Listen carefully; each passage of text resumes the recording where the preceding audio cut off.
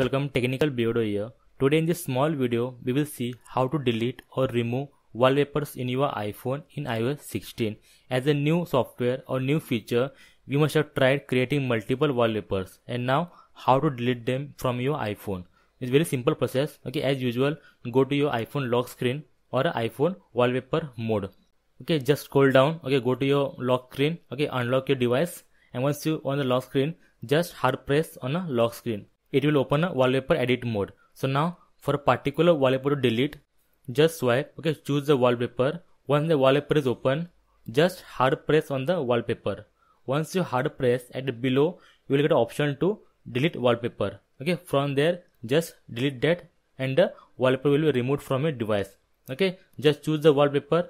Okay keep it on screen and just hard press. And you will see option called delete wallpaper. And it will remove wallpaper from your iphone so that's it okay? How to remove or how to delete wallpapers in your iphone in ios 16 if you like this video please give a like. And for more videos on iphone tips and tricks and iphone solutions and iphone update please subscribe. Until then thank you very much. Bye bye take care